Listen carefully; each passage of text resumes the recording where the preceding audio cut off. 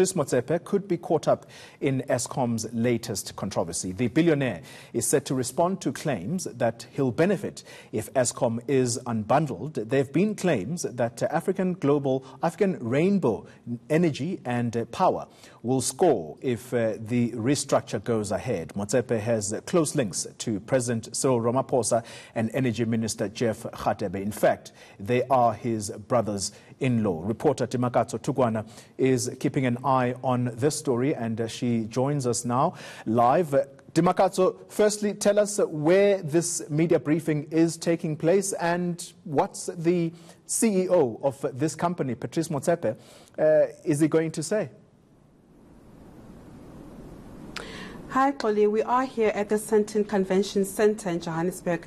We're expecting uh, the chairperson of, uh, uh, you know, African uh, Energy, uh, uh, Rainbow Energy and Power to deny uh, these claims that uh, you know he is going to benefit from this unbundling of Eskom. You know that uh, post the SONA uh, you know uh, speech by the president where he said that Eskom will be unbundled into three uh, you know separate entities that will be under Eskom holdings, namely transmission, distribution, and, and generation. There have been claims to social media and everywhere else, people saying that you know AREP, that's Motsepe's private energy company, is really set set up uh, uh, to benefit from this because, well, you'd know that uh, unbundling, uh, you know, goes with privatization. This is like a, a, manual taken from the World Bank or IMF books in terms of, you know, how privatization is done. So some are saying that there's no way that you can unbundle without privatizing. I mean, the president and we saw uh, Minister Pravin Gordhan last week denying claims and saying, listen,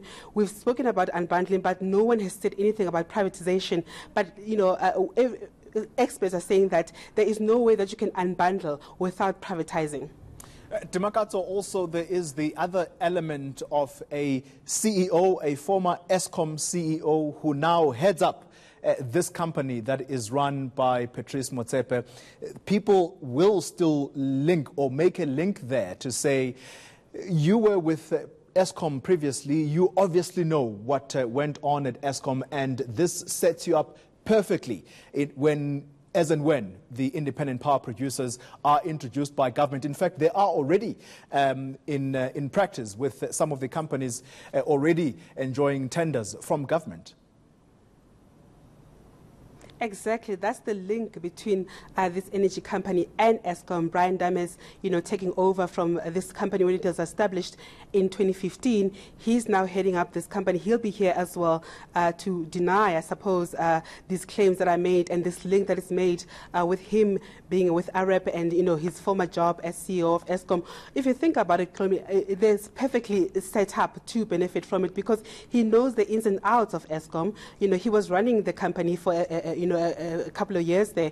And, uh, uh you know, this company, AREP, is set up in terms of IPPs. They are, you know, big players in terms of, oh, well, are setting up to be big players in the sub-Saharan Africa in terms of, you know, uh, uh, independent power producing. They're into hydro energy. They're uh, looking at all sorts of aspects in terms of energy generation. So, you know, it, it's going to be very difficult to sort of deny those claims because, you know, there are in-laws and, you know, people, I suppose the skepticism comes comes from the fact that, you know, all these years, uh, South African has been, have, have been exposed to sort of a lot of wrongdoings with Eskom, with all these debts, 420 billion rands of debt, Eskom burning through 40 billion rand a month just to keep the lights uh, uh, on. So we'll see what they will, they will have to say about this. But I mean, I think they have their job cut out in terms of trying to deny uh, the links that people are making between AREP and, and this unbundling of Eskom.